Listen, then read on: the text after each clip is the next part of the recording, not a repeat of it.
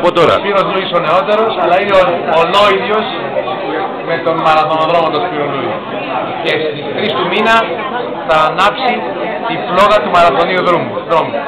This is the grandson of Mr. Spiros Luis from Marusi, speaking to our camera, and the mayor of Marathon, Mr. Spiros Zagaris. And the Mrs.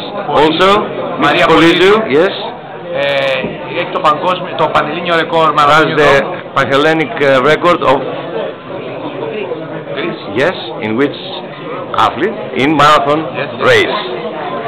We are very proud of you. και έχει εκατοντάδες ε, πανελλήνιο νίκες και διάφορα. Yes. Είναι η, η πρωταθλήτρια της Ελλάδος προς το μαραθώνιο δρόμο. Κύριε Σπύρο, Πράγματι